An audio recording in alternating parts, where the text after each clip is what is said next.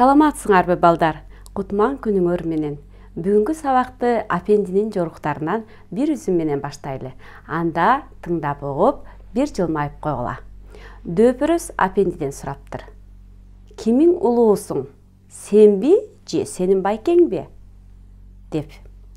Анда апенди жооп берет экен былтыр энем айткан эле байкең бир жаш улуу деп.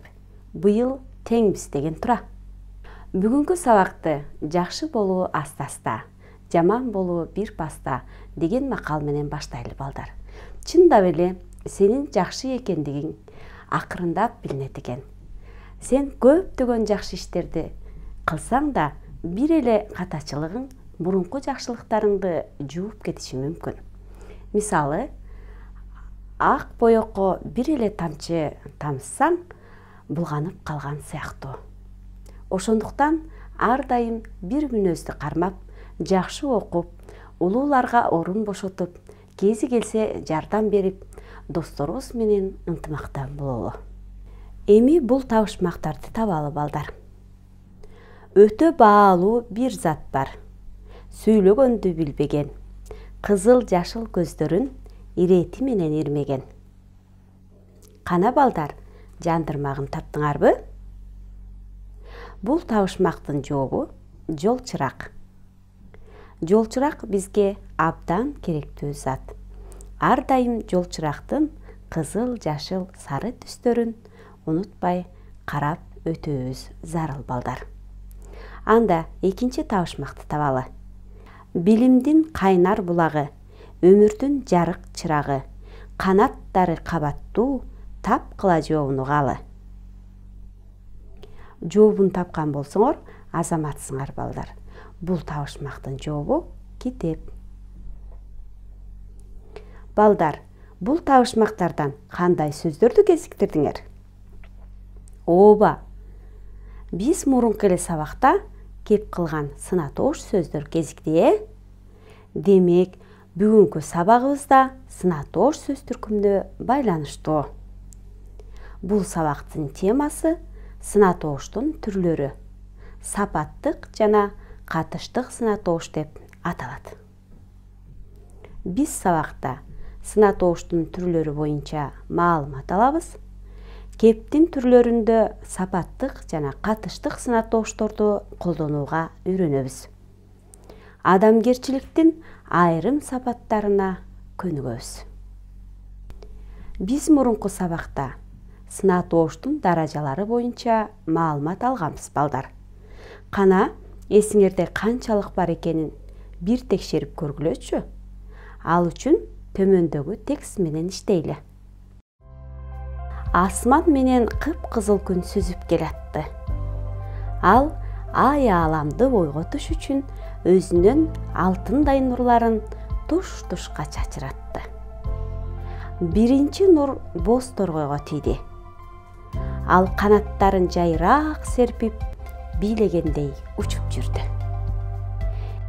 экинчи нур коёнго чачырады ал упузун кылактарын серпип көңүлдүү чуркап жөнөдү үчүнчү нур аюуга жетти майпаңдай басып таттуу балына жөнөдү төртүнчү нур уктап жаткан кичинекей жалкоонун көзүн уялтты анын көзү бозомук тартып ачылбай жатып араң турду.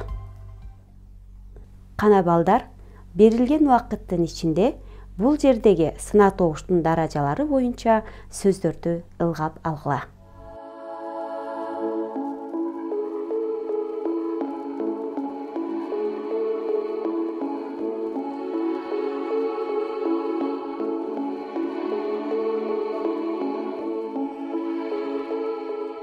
силер туура белгиледиңер деп ойлоп жатам балдар.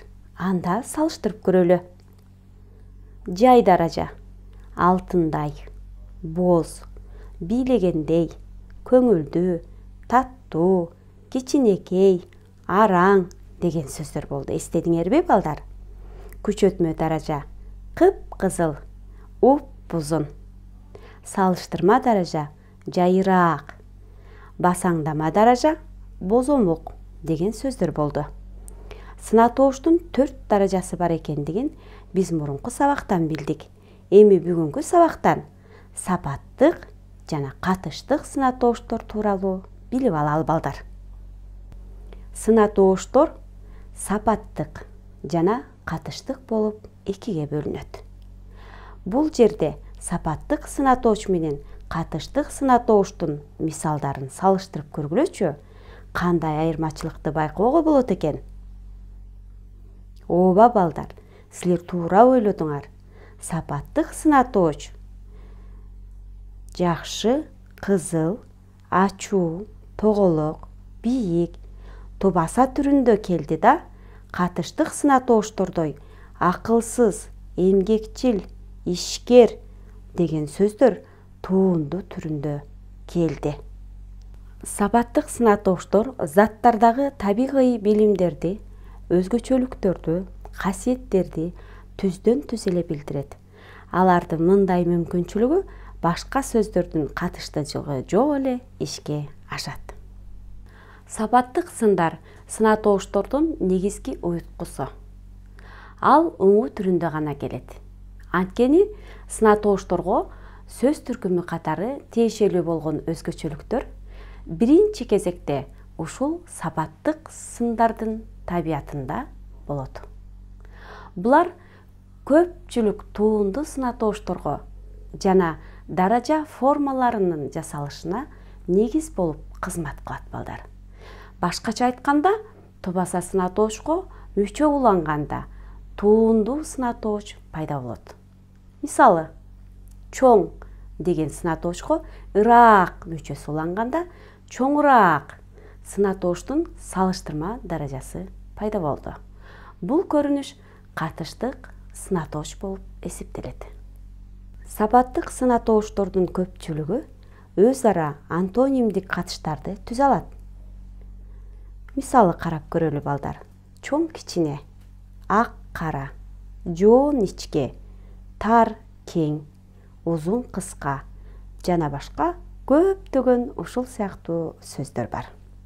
Катыштык сынатооштор заттардагы белгилерди өзгөчөлүктөрдү касиеттерди башка заттар башка нерселер башка түшүнүктөр аркылуу билдирет.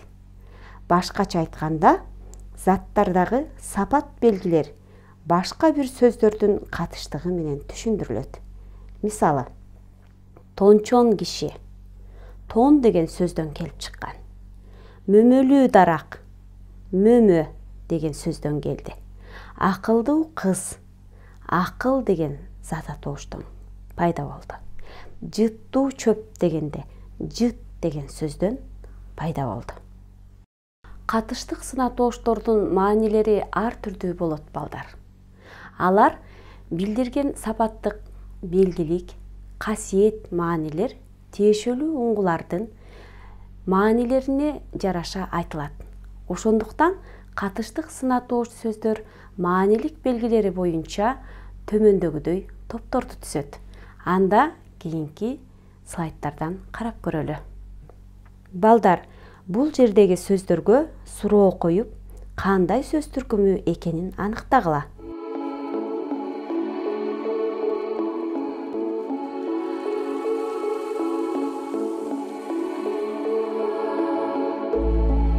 Балдар. Бул жердеги сөздөргө суроо коюп аныктап бүткөн болсоңор салыштырып көрөлү. Таалай деген сөзгө кандай суроо коебуз эмне таалай зат атооч кандай таалайлуу сынатооч. Эмне кыл унут. Этиш. Кандай унутчаак сынатооч бул жерде өзүңөр көргөндөй луу чак мүчөлөрү аркылуу сөз сынатоош сөздөр жасалды балдар. Катыштык сынатооштор көбүнчө өзү аныктап турган сөз менен бирге айтылат жана сөз жасоочу мүчөлөрдүн жардамы менен жасалат. Эми бул жердеги катыштык сынатоошту уюштурган сынатоош жасоочу мүчөлөрдү карап көрөлү. Луу балалуу эстүү билимдүү дай тоодой көлдөй сүттөй сыз акылсыз адепсиз тартипсиз чыл эмгекчил ойчул чан тончон оорукчан өтүкчөн. Г мүчөсү түнкү сугат тоодогу малчылар. Кер ишкер айлакер талапкер. Лаш аталаш сырдаш. Катыштык сынатооштордун маанилери ар түрдүү болот балдар. Алар билдирген сапаттык белгилик касиет маанилери тиешелүү уңгулардын маанилерине жараша айтылат. Ошондуктан катыштык сынатооч сөздөр маанилик белгилери боюнча төмөндөгүдөй топторду түзөт. Заттын белгиси касиети катары мезгилдик түшүнүктү билдирген катыштык сынатооштор да болот балдар. Алар түнкү сугат кышкы каникул бүгүнкү лекция көзүндөгү окуя сыяктуу сөздөр. Мисалы эртеңки күн караңгы бүгүнкү күн жарандуу деген макалда кандай күн? деген суроого жооп берип мезгилдик түшүнүктү билдирди. Кебибизде орун мейкиндик түшүнүктөрдү заттын белгиси касиети катары туюндуруучу катыштык сынатооштор да кезигет. Алар жайлоодогу мал үйдөгү буюм айылдагы мектеп жана башка сөздөр. Мисалы айылдагы мектептердин абалы менен таанышып кайтышты. Кандайдыр заттын же абстрактуу түшүнүктүн бар же жок экендигин анын белгиси касиети катары туюндуруучу катыштык сынатооштор да бар. Алар тондуу бала бактылуу кыз айсыз түн суусуз талаа жыттуу самын таштак жол баткак көчө жана ушул сыяктуу көптөгөн сөздөр бар. Мисалы билимсиздин жашоосу айсыз түнгө барабар дегенде айсыз түнгө деген сөз болду төмөндөгү сынатоош сөздөрдү катыштырып сүрөттөгүлө.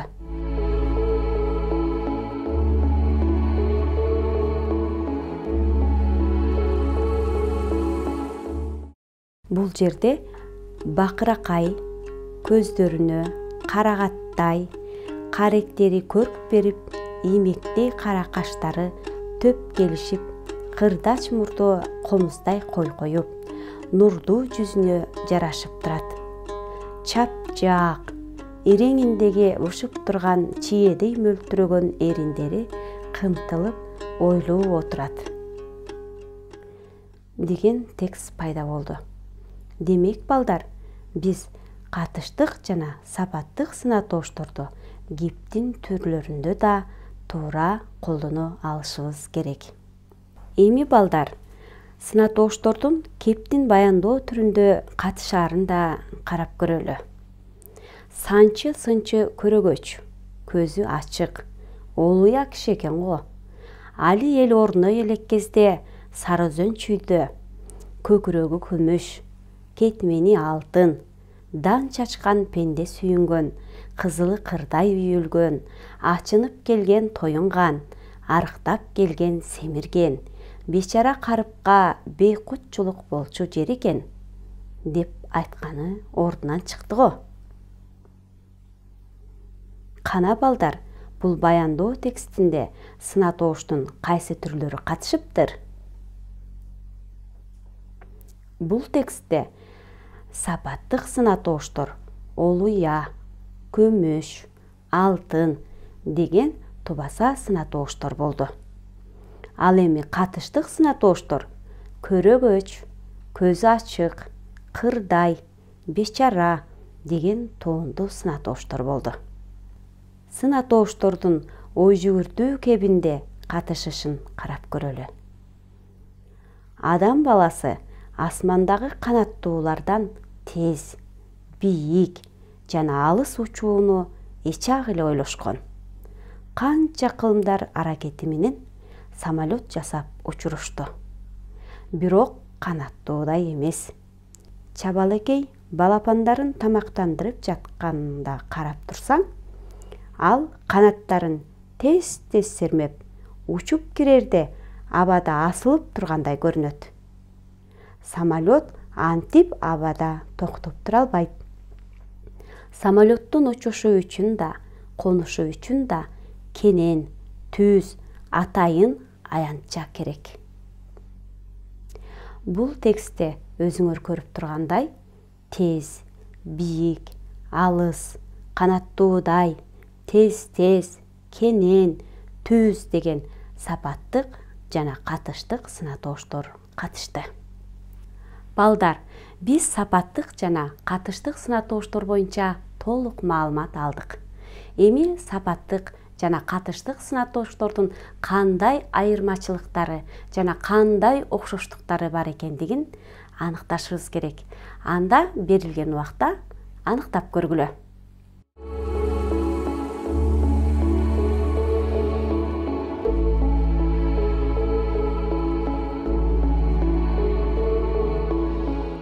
Берилген убакыт да бүттү балдар. Анда салыштыралы. Сапаттык сынатооч катыштык сынатооштон айырмачылыгы. Уңгу түрүндө келди тубаса түрүндө келди заттардын сын сыпатын өңү түсүн формасын көлөмүн ченемин даамын жана башка белгилерин көрсөтүп турат. Жана даражалар менен өзгөрөт.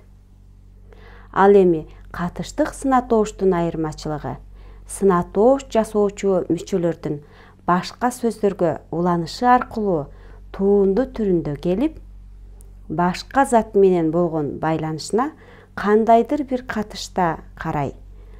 Заттын өзгөчөлүктөрүн көрсөтөт.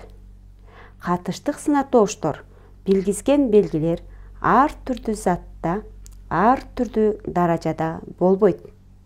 Ошондуктан мындай сынатооштор даража категориясы менен өзгөрбөйт.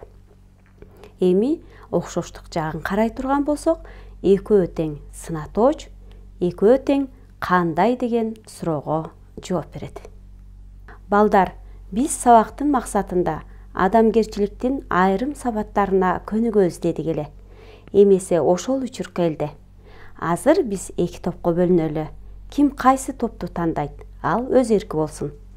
Биринчи топтогулар кызыл гүлдүн желекчелерин ийгиликтүү турмуш курууга жолтоо боло турган адамдын эң негизги терс сапаттарын сынатооштор менен толтургула ал эми экинчи топтогулар сары гүлдүн желекчелерин ийгилик жолуна жол ача турган адамга эң керектүү эң негизги жакшы сапаттарын сынатоош сөздөр менен толтургула анда убакыт кетти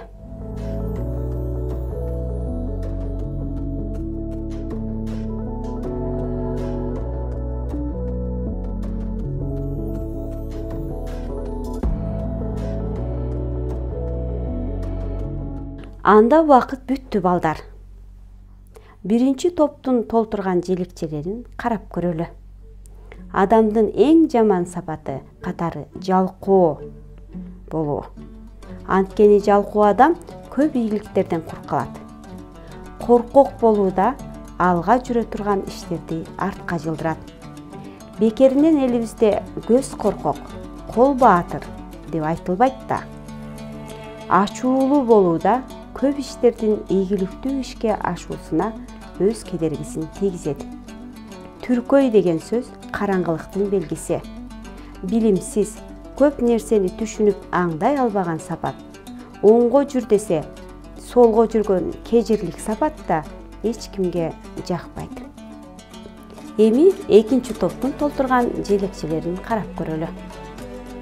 Білімді болуу менен игіліктерге ийгиликтерге жетүүгө болот билимдүү болгонуң менен ишиңе так убакытты так пайдалана албасаң бекер. Демек так болуу керек. Албетте билим менен ийгиликтүү жашоо үчүн турмушта эмгекчил кайрымдуу чынчыл болуу керек силер ушундай ой жүгүрткөн болсоңор азаматсыңар балдар. Ар дайым силерди ийгилик коштоп келечектеги жашооңор ийгиликтүү болсун бүгүн биз сабакта сынатооштор заттардын ар түрдүү белгилерин жана башка зат менен байланышын билдиришине карай сапаттык жана катыштык болуп бөлүнөрүн билдик сапаттык жана катыштык сынатоошторду кептин түрлөрүндө колдоно алууга үйрөндүк турмушта ийгилик жолуна жолтоо боло турган жана терс сапаттар жөнүндө талдап ийгиликтүү жашоо үчүн керектүү эң негизги оң сапаттарга ээ болуу көндүмдөрүбүздү арттырдык.